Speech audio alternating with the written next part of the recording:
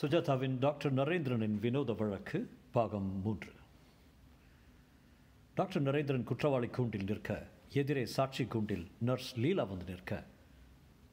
Nagarajan your honour என் முதல் சாட்சி miss லீலா miss நீங்கள் ஆஸ்பத்திரியில் எத்தனை வருஷ வருஷமாக வேலை பார்க்குறீங்க? பத்து வருஷங்க. எதிர்த்தரப்பில் இருக்கிற டாக்டர் தெரியுமா உங்களுக்கு? தெரியும். பார்க்காமலே சொல்கிறாங்க யுவர் ஆனர் வரப்போ பார்த்துக்கிட்டேன். வசந்த் பார்த்துக்க சொன்னாங்களா? யுவர் ஆனர் இந்த மாதிரி சின்ன விஷயங்களுக்கெல்லாம் தடங்கல் செய்தால் கேஸ் நடத்தவே முடியாது. என் நண்பருக்கு இது சின்ன விஷயமா இருக்கலாம். எங்களுக்கு ஒரு உயிர் பிரச்சனை இது. மிஸ்டர் வசந்த் நீங்கள் கவலைப்படாதீங்க. உங்கள் பிரச்சனைகளை கவனிச்சிக்க நானும் இருக்கேன். அந்த தைரியத்தில் தான் இந்த கோர்ட்லேயே வந்து நிற்க முடியுது யுவர் ஆனர் மிஸ் லீலா நம்ம டிஃபென்ஸ் நண்பர்கள் அதிகப்படியாக காலவரையம் செய்கிறதால சுருக்கமாக மார்ச் மாதம் மூணாம் தேதி வார்டு நம்பர் எட்டில் என்ன நடந்ததுன்னு சொல்கிறீங்களா நான் பேஷண்ட்டை கவனிக்கிறதுக்கு வார்டு ரூமுக்குள்ளே போன போது டாக்டர் நரேந்திரன் பேஷண்ட்டுக்கு உண்டான ஆக்சிஜன் சப்ளையும் குளுக்கோஸ் ட்ரிப்பையும் ப்ளட் சப்ளை எல்லாத்தையும் டிஸ்கனெக்ட் பண்ணுறதை பார்த்தேன். ஏன் டாக்டர் இப்படி பண்ணுறீங்கன்னு ஆச்சரியப்பட்டு கேட்டப்போ டாக்டர் நடந்தது நடந்தது ஆக வேண்டியது. நீ ஏதும் பார்க்கல உறவுக்காரங்களை கூப்பிட்டு சொல்லு டெத் சர்டிஃபிகேட்டில் நான் சைன் பண்ணுறேன்னு சொன்னார். நீங்கள் சரவணனை எப்போ கடைசியாக உயிரோடு பார்த்தீங்க காலையில் பத்து மணிக்கு. இது நடந்தது எப்போ? மத்தியானம் பன்னெண்டு மணி இருக்கும். டாக்டர் அந்த குழாயெல்லாம் பிடுங்கி விடுறப்போ பார்க்குறதுக்கே எப்படி இருந்தார். ரொம்ப பதட்டமாக முகமெல்லாம் வியர்த்திருந்தது நான் போனப்போ ஒரு மாதிரி முகம் விகாரம் ஆயிடுச்சு அதுக்கப்புறம் டாக்டர் இதை பற்றி ஏதாவது பேசினாரா? பேசினார். ஒரு வாரம் கழிச்சு. என்ன சொன்னார்?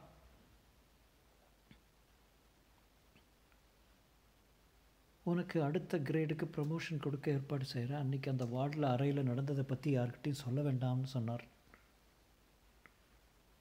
டாக்டர் நீங்கள் சிரிக்கிறீங்க. இது உங்களுக்கு சிரிக்கிற விஷயமா இருக்கலாம். இந்த கோர்ட்டுக்கு அப்படி இல்லை. கொஞ்சம் கண்ணியத்தோட மரியாதத்தோடு நடந்துகிறது நல்லது. போடா. Your honour this is the limit doctor உங்களுக்கு எச்சரிக்கிறேன். பிஹேவ் யோர் செல்ஃப் இந்த கோர்ட்டில் நடக்கிறது எல்லாமே ஃபால்ஸ். அதான் எனக்கு சிரிப்பு வருது. எதுக்காக இந்த வழக்கு? எதுக்காக இத்தனை இழுபறி? நான் தான் குற்றத்தை ஒப்புக்கிறேனே. வழக்கே வேண்டாமே. பேசாமல் தண்டனை என்னன்னு சொன்னீங்கன்னா எல்லாரும் பொய் சொல்லாமே வீட்டுக்கு போகலாம். மிஸ்டர் கணேஷ் என்ன சொல்கிறீங்க யோராடா டாக்டர் நரேந்திரன் ஒருவித விரக்தியினால் பேசுகிறாரு அவருக்கு நீதி கிடைக்காதுன்னு ஒரு பயம் இருக்கிறதா தெரிகிறது. அவர் நடந்து கொண்ட விதத்துக்காக டிஃபென்ஸ் தரப்பில் மன்னிப்பு கேட்டுக்கொள்கிறேன். ஆனால் இந்த கேஸ் தொடர வேண்டியது நீதிமன்றத்தின் பாராபட்சம் என்ற தன்மையை நிலைநாட்டுவதற்கு முக்கியம். டாக்டர் நாங்கள் டிஃபென்ஸ் தரப்பில் ஒரே சாட்சியை நிறுத்தும் போது அவருடைய வினோதமான போக்குக்கு காரணம் தெரிய வரும் என்று நம்புகிறோம். டாக்டர் நான் உங்களை எச்சரிக்கிறேன். உங்களை கேள்வி கேட்கும்போது குறுக்கே பேசும்போது சிரிப்பது கோர்ட்டை அவமதிப்பதும். அதுக்கு ஒரு கேஸ் போட்டுட்டா போச்சு. Doctor will you keep quiet mister Nagarajan you may proceed she is your witness Ganesh miss Leela சென்ற மார்ச் மாதம் எட்டாம் நம்பரில் நடந்த சம்பவங்களை விவரமாக சொன்னீங்க. டாக்டர் பேசின ஒவ்வொரு வார்த்தையும் ஞாபகம் இருக்குது இல்லையா உங்களுக்கு? மறக்க முடியலைங்க. மார்ச் மூணாம் தேதினா இன்றைக்கி ஒரு வருஷம் ரெண்டு வருஷம் ரெண்டு மாதம் ஆகிடுச்சு இல்லையா? ஆமாம் ஆனால் நல்லா ஞாபகம் இருக்குங்க. ஓ போன வாரம் வியாழக்கிழமை நீங்கள் என்ன டியூட்டியில் இருந்தீங்க? இன்டென்சிவ் கேரில் இருந்தேன். என்ன டியூட்டி நைட் டியூட்டி ஏதாவது குறிப்பிடும்படியாக நடந்ததா டியூட்டியில் ஞாபகம் இல்லையே. ஞாபகம் இல்லையா? ஒரு ஆக்சிடெண்ட் கேஸ் வந்ததுங்க. என்ன ஆக்சிடெண்ட் என் காடி ஆக்சிடெண்ட்டில் அடிபட்டவர் பேர் என்ன? அவர் என்ன பேசினார்? பேசினாரா? மயக்கத்தில் இருந்தாரா? அவருக்கு என்ன இன்ஜெக்ஷன் கொடுத்தீங்க? I must object your honour totally irrelevant. என்ன mister Ganesh what are you aiming at ஏறக்குறைய ஒரு வருஷத்துக்கு முந்தின சம்பவங்களை இவ்வளோ தெளிவாக ஞாபகத்துக்கு வச்சுருக்கிறவங்க போன வியாழக்கிழமை சம்பவத்தை ஞாபகம் இல்லைங்கிறாங்க. இது அபத்தமான வாதம். சில சம்பவங்கள் நமக்கு வெவ்வேறு காரணங்கள்னால தெளிவாக ஞாபகம் இருக்கலாம். ப்ரிசைஸ்லி இந்த ஞாபகம் இந்த சம்பவம் ஞாபகம் வச்சுக்கிட்டு இருக்கிற காரணம் என்னன்னு தான் கேட்க விரும்புகிறேன் அது இந்த வழக்கின் குறிக்கோளுக்கு அப்பாற்பட்டது. அப்படி நான் நினைக்கவில்லை.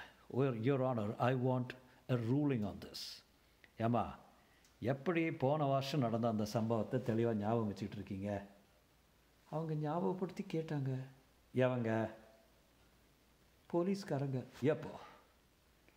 I must object this your honour இருங்க இருங்க சொல்லுங்கம்மா. எ- என்ன சொல்கிறது அதான் ஜட்ஜ் கேட்குறாரு அதம்மா உங்கள் உங்களுக்கு யார் எந்த விதத்தில் சாட்சி சொல்ல முடியும் சொல்லி கொடுத்தாங்க? I object objection sustain mister Ganesh நீங்கள் இந்த மாதிரி கேட்குறது சரியில்லை. ஆல் ரைட் இதையே வேறு விதமாக கேட்குறேன். உங்களை சில நாளைக்கு முன்னால் போலீஸ் வந்து பார்த்தாங்களா? பார்த்தாங்க. பார்த்து இந்த கேஸில் சாட்சி சொல்கிறியான்னு கேட்டாங்களா? ஆமாம் என்ன சொல்கிறதுன்னு சொல்லி கொடுத்தாங்களா? Your honour this is the limit your honour இந்த கேள்விக்கு இந்த அம்மா பதில் சொல்ல வேண்டியது மிக முக்கியம்னு நினைக்கிறேன். இந்த சாட்சி சொல்கிறது எல்லாம் போய். எல்லாம் போலீஸ் கற்றுக் கொடுத்தது. Everything is tutored hey hey what could be the reason mister Ganesh காரணம் சொல்லுங்கள் காரணம் என்னென்னு தெரிஞ்சப்பறம் உங்கள் கேள்வி அனுபவிக்கிறேன். டாக்டர் நரேந்திரன் மேலே இருக்கிற பொறாமையாக இருக்கலாம். யாருக்கு? ஹாஸ்பிட்டலில் உள்ள சக டாக்டர்களுக்கு அதை நிரூபிக்க சாட்சியம் கொண்டு வர போகிறீங்களா கொண்டு வரலாம். சந்தேகமாக சொல்கிறீங்க இந்த கேள்வி அனுமதிக்கிறதுக்கு இல்லை. நீங்கள் வேணும்னா உங்கள் கிராஸ் எக்ஸாமினேஷனை போஸ்ட்போன் பண்ணிக்கோங்க. அப்புறம் இந்த கேள்வி ரெலவெண்ட்டுன்னா கேட்க அனுமதிக்கிறேன். You may proceed Vasanth. Ganesh உட்கார்ந்துக்குள்ள Vasanth எழுதிக்கிறான். அவ்வளோதானே நான் போகலாம்ல?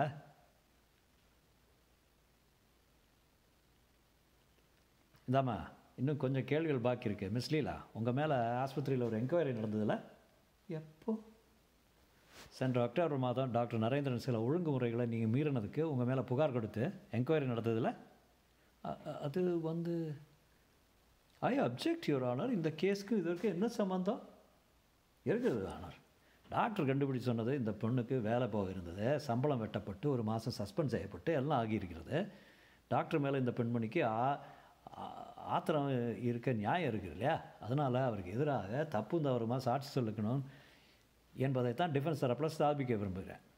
பதில் சொல்லுங்கம்மா. கேள்வி என்ன? உங்கள் மேலே எதுக்கு என்கொயரி நடந்தது? லேட்டாக வந்ததுக்கு. லேட்டாக வந்ததுக்கு மட்டும்தானா? இன்னும் சில குற்றம் இருந்திருக்கலாம் ஞாபகம் இல்லை. டாக்டர் சொன்னது செய்தது மட்டும் தெளிவாக ஞாபகம் இருக்கும். உங்களுக்கு ஞாபகம் இல்லைன்னா நான் சொல்கிறேன் லேட்டாக வந்தது சின்ன முதல் குற்றச்சாட்டு அதுக்கப்புறம் வர்றது எல்லாம் நினைவில் இல்லை. ஆஸ்பத்திரியில் மருந்து திருடி வெளியே விற்றது அது என்ன மருந்து? கேப்சியூல்ஸு இப்போ நினைவு இருக்கா? அப்புறம் வார்ட் பாய் ஒருத்தனை ஞாபகம் இருக்கா? அவன் கூட்டி வந்த ஒரு பொம்பளை ஞாபகம் இருக்கா? அப்புறம் லீலா அழ ஆரம்பிக்கிறாள். அழறீங்க. அழுதா விட்டுடுவோன்னு நினைக்கிறீங்க. அழுது ஓயிற வரைக்கும் காத்திருக்கேன். பதில் சொல்லியே ஆகணும். இப்போ சொல்லுங்கள் டாக்டர் நரேந்திரனுக்கு எதிராக நீங்கள் சொன்னது அத்தனை போய் தானே டாக்டர் சிரித்து வசந்த் சும்மா ப்ரொசீட் பண்ணாதீங்க. அவள் என்னை பற்றி சொன்ன பகுதி என்னவோ நிஜம்தான். அதில் அவள் போய் சொல்லலை. Doctor will you shut up? Um, that's Ganesh சொல்கிறான் எதுக்கு சொல்ல வர்றேன்னா அவன் மருந்து திருடி இருக்கலாம் மற்ற எவ்வளவோ விஷமங்கள் பண்ணியிருக்கலாம். ஆனால் அதுக்காக இந்த விஷயத்தில் பொய் சொல்கிறாள்னு சொல்லி அவளை சத்தாய்க்கிறது நல்லா இல்லை. டாக்டர் அதெல்லாம் எங்கள் உங்களை எக்ஸாமின் பண்ணுற போது சொல்லலாம். என்னையா கேஸ் இது? Court is adjourned for lunch Ganesh Vasanth இருவரும் டாக்டரை பார்த்து கொண்டு நிற்க மற்றவர்கள் விலகுகிறார்கள். கொஞ்ச நேரம் மூவரும் தனியாக இருக்கிறார்கள். ஏன் சார்?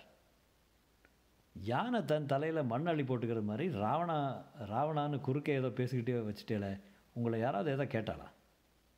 அப்படி இல்லைப்பா அவ சொன்னது என்னமோ லுக் டாக்டர் நாங்கள் எதுவும் சும்மா வேறு வேலை இல்லாமல் உங்கள் கேஸ் நடத்துகிறோன்னு நினைக்காதீங்க. நாங்கள் உங்கள் கட்சி. இந்த மாதிரி திடீர் திடீர்னு ஹரிச்சந்திரத்தனெல்லாம் காட்டி பயங்காட்டினீங்க. அவ்வளோதான் கேஸ் இப்போவே க்ளோஸு நாங்கள் இப்போவே அம்பேல். அண்டர்ஸ்டாண்ட் இருந்தாலும் உண்மைன்னு ஒன்று உண்மை. அது கோர்ட்டில் கிடையாது டாக்டர். கோர்ட்டில் உண்மைக்கு ரூபமே அந்தஸ்தே வேறு. இங்கே இருக்கிறது எல்லாம் வெறும் உண்மை இல்லை. எல்லாம் ஐபிசி தடவின உண்மை. புரியலை. எனக்கும் உங்களுக்கும் சரியாக புரியல. சொல்லுங்கள் டாக்டர். உங்களுக்கு இந்த கேஸ் ஜெயிக்கணுமா வேண்டாமா? உண்மை ஜெயிக்கணும். அதுக்கு வினோபா பாவகிட்ட போங்க. கோர்ட்டுக்கு வராதீங்க. இரு வசந்த். டாக்டர் சரியாக கேளுங்கள் எங்கள் டயத்தையும் மற்ற பேர் டயத்தையும் வேஸ்ட் பண்ண உங்களுக்கு விருப்பம் இருக்காதுன்னு நினைக்கிறேன். லெட்ஸ் கெட் இட்ஸ் ஸ்ட்ரைட் உங்களுக்கு நாங்கள் வேணுமா வேண்டாமா? வேண்டாம்ப்பா. என்ன விட்டுடுங்க. வாங்க பஸ் போகலாம் இரு. டாக்டர் ஏன்? எனக்கு தண்டனை வேணும். தண்டனை கிடைச்சாகணும். அவங்க சொல்கிற முத ரெண்டு குற்றத்துலேயும் என் மனசாட்சி துல்லியமாக தான் இருக்குது ஆனால் மூணாவதில் நிஜமாகவே தப்பு பண்ணிட்டேன். படக்கு படக்குன்னு குழாயை பிடுங்கிட்டு அந்த ஆளை சாகடிச்சிங்களா? ஆமாம் மனசாட்சி கிளியராக இருக்கா? மனசாட்சி என்ன பாய் சோப்பா நான் அந்த ஆளை கொன்னது அவருக்கு விடுதலை அளித்தது மாதிரி. அவர் சொர்க்கத்திலேயோ நரகத்திலேயோ எங்கே இருந்தாலும் நான் செஞ்ச காரியம் அவருக்கு முழுமையாக தெரிஞ்சிருந்ததுன்னா அவர் என்னை வாழ்த்துவார். குழாய் பிடுங்கினதுங்க ஆமாம் அவர் செத்து போனதுக்கு நாலு மாதத்துக்கு முன்னாடியே அப்போ தான் சரவணனை மயக்கத்தில் என்கிட்ட கொண்டு வந்தாங்க. வந்த உடனே சிம்டம்ஸ் எல்லாம் பார்த்தேன். டீப் கோமா மயக்கம். ஒரு லம்பார் பங்க்சர் எடுத்து பார்த்தேன். செரிப்ரல் ஹெமரேஜ் கன்ஃபார்ம் பண்ணிக்கிட்டேன். மூளையில் இருக்கிற அத்தனை ரத்த நாளுகளையும் வெடித்து போய் எக்ஸ்டென்சிவாக டேமேஜ் ஆகிடுச்சு ஹைப்பர் டென்ஷன் பேஷண்ட்டு டயபெட்டிக் வேறு. கவனிக்காமலே இருந்திருக்கிறார். இந்த மாதிரி கோமா கேஸ்களை எல்லாம் மூச்சு விடுற இயந்திரம்னு தான் சொல்ல முடியும். மூச்சையும் இதய துடிப்பையும் கட்டுப்படுத்துகிற கேந்திரங்களை பகவான் மூளைக்குள்ளே புதைச்சி வச்சிருக்கார். அது லேஸ்லே சேதமாகறதில்ல. சரவணனுக்கு அந்த ரெண்டு சக்திகளை தவிர மற்றெல்லாம் போயிடுது. புரள முடியாது சாப்பிட முடியாது மலஜலம் முடியாது. எல்லாத்துக்கும் குழாய் சாப்பாட்டுக்கு குழாய் ரத்தத்துக்கு குழாய். ஆஸ்பிரேட்டர் லங் மிஷினை வச்சுட்டு புசு புசுன்னு துரத்தி அடிக்கணும். கொஞ்ச நேரம் ஒரே மாதிரி பெட்டில் விட்டால் பெட் சோர் வந்து உடல் அழுக ஆரம்பிச்சிடும் மூச்சு விடுற பிணம்.